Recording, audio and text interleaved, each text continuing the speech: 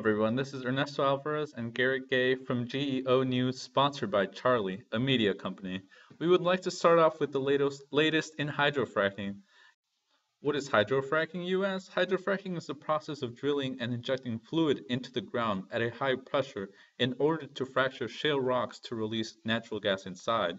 Why is this important, you ask? The Natural Resources Defense Council, also known as NRDC, has recently claimed that hydrofracking results in co contaminating water supplies and, quote, dangerous air pollution, destroyed streams, and devastated landscapes.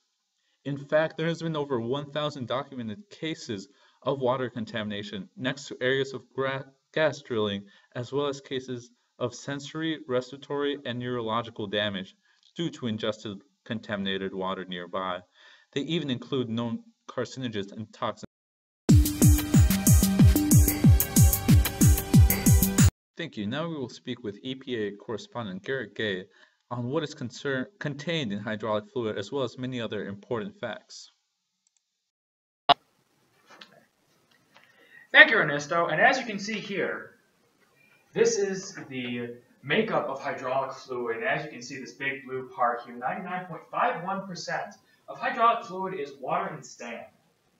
This is broken down. The basically 0.5% of it is made up of uh, surfact, uh, surfactant, a uh, potassium chloride, a gelling agent, scale inhibitor, a pH adjusting agent, a breaker, crosslinker, iron control, a corrosion inhibitor, a biocide, acid, and a friction reducer.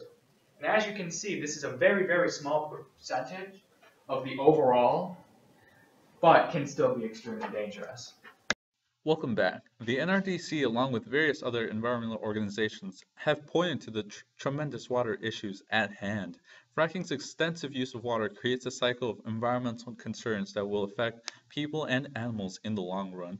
Yes, it is true that fracking inevitably brings an extreme level, level of water consumption, but the process is accompanied with another hidden risk, water consumption. Stay tuned, folks.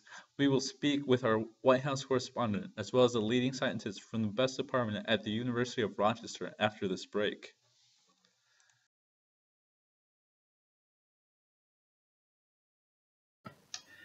Alrighty, Ernesto, and here's going to be the economic part of the um, hydraulic fracking discussion as has been happening recently.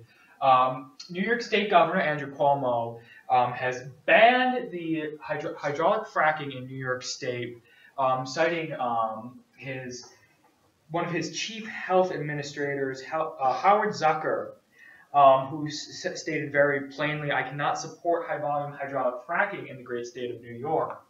as you can see right here, the green part is um, this is the Marcellus Shale in New York, Pennsylvania, and West Virginia.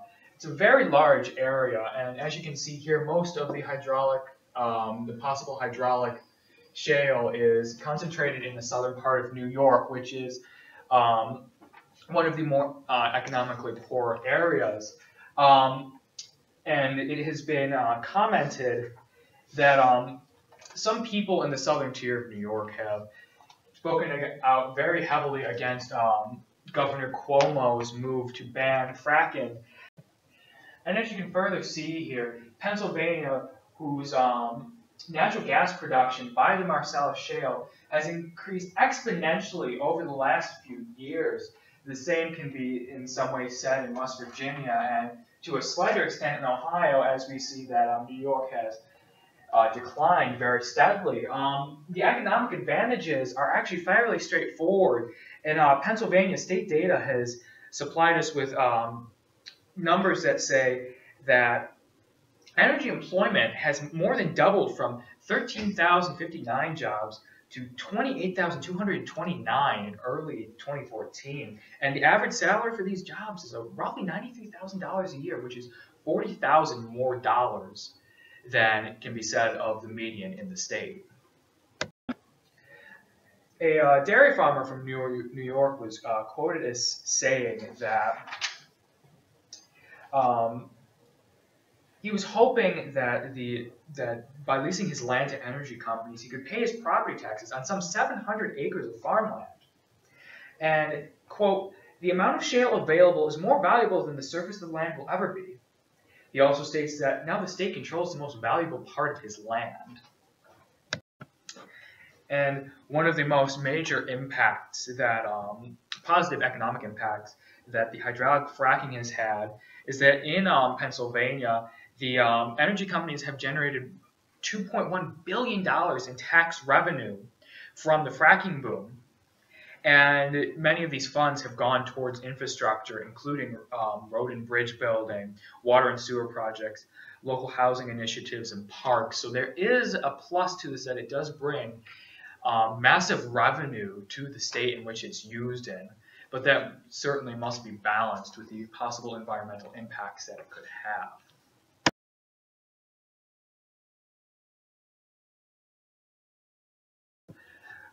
Also hailed by Dr. Zucker, once again, the uh, one of the chief health administrators of Governor Andrew Cuomo's um, administration, was stated as saying that he saw numerous red flags and significant uncertainties about the kinds of adverse health outcomes that may be associated with fracking.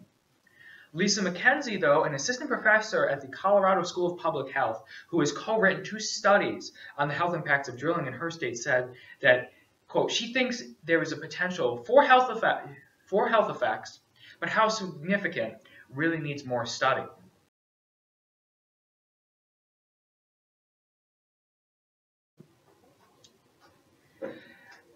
The recent banning on hydraulic fracking in New York State um, has been hailed by many environmental leaders. Um, one, the Department of Environmental Conservation Commissioner Joe Martens played down the economic benefits of fracking while citing a laundry list of potential adverse effects. The contamination of drinking water supplies, the impact on air and land resources, as well as community impacts, including increased truck traffic and wear on bridges. Now we will have a special guest, a University of Rochester geology expert, Kayla Kibling. Are you ready for us, Kayla? Yes, thank you for having me. Now tell me, why should people tune into tonight's newscast be worried about an issue such as hydrofracking? Why should this take precedence to other leading environment issues such as global warming? Excellent question. To put this into perspective, I will outline an equation that will speak for themselves. The amount of water consumed by the gas wells currently in the United States can be described by the equation 500,000 active gas wells in the U.S. times 8 million gallons of water per fracking times 18 times a well can be fracked is an unspeakable number of 72 trillion gallons of water of, is being consumed by this process. Now we will speak with EPA correspondent Garrett Gay on what exactly is contained in this hydraulic fluid. As you can see here, this is a, um, a well comparison taken from uh, Michael D. Holloway's book, uh, Fracking the Operations and Environmental Consequences of Hydraulic Fracking. Um, what he does here is he takes his table using data from the EPA and many um, state environmental studies, and he goes through for each of the specific types of shales, and he just discusses uh, specific pieces of um, the technical aspects of the shales. Um, and for example, he talks about the estimated basin area of um, many of the shale basins. One of the most interesting facts, though, is he talks about very specifically the depths at which most of the times these shales would occur. And as you can see, for the Barnett Shale, um, 8,500, Fayetteville, 700, or 7,000. Haynesville, 13,500. The Marcellus, 8,500. The Woodford, 11,000. And the Antrim at 12,000 with the New Albany even further down at 43,500. Um, this is, can then be compared to the depth of the base of the treat, of treatable water. And this is in feet as well. And as you can see, there is a large gap in between um, many of these uh, shales and the actual water that the aquifers, um, for example, with the Barnett Shale, um, being down at uh, 8,500 feet. The depth of the base of the base of treatable water, the very bottom, is about 1,200 feet. For any New Yorkers out there, the Marcellus Shale, which occurs at around once again 8,500 feet, the base of treatable water is right around 850 feet. So there was a large gap that any material fracking fluid or methane will have, would have to travel up through to get into the aquifers in the water basin. Thank you, Garrett.